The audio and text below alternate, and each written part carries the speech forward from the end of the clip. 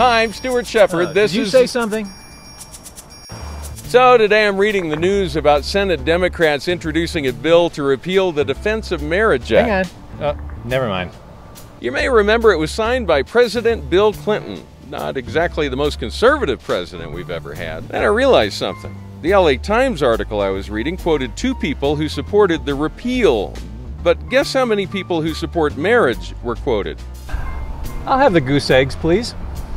Yep, zero. So I went searching on mainstream media outlets to find any quotes from people like you and me. CBS News quoted nobody who sees the issue through our eyes. UPI, MIA. Boston Globe, no tea for you. Then I looked in the wild eyed liberal mainstream media dictionary. Marriage. Whatever. You may remember Apple kicking the Manhattan Declaration out of its walled garden app store. You ever notice how their corporate symbol is an apple with a bite out of it? The company said the thoughtful apologetic on God's design for marriage was too offensive.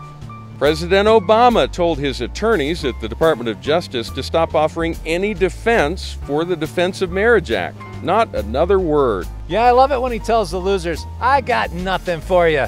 Which leads us to these questions. Will you keep relying on mainstream media outlets when you know they ignore everything you believe to be true about marriage?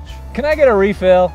And since the Senate Democrats and the mainstream media and Apple and the president won't do it, don't you think it's time for the rest of us to take a stand for marriage? What?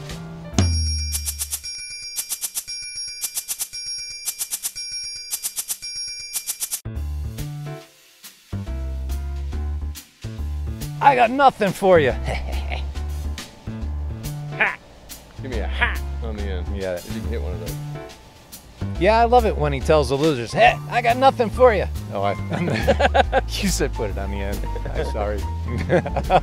It's an unnatural hat. yeah. All right. Don't correct my.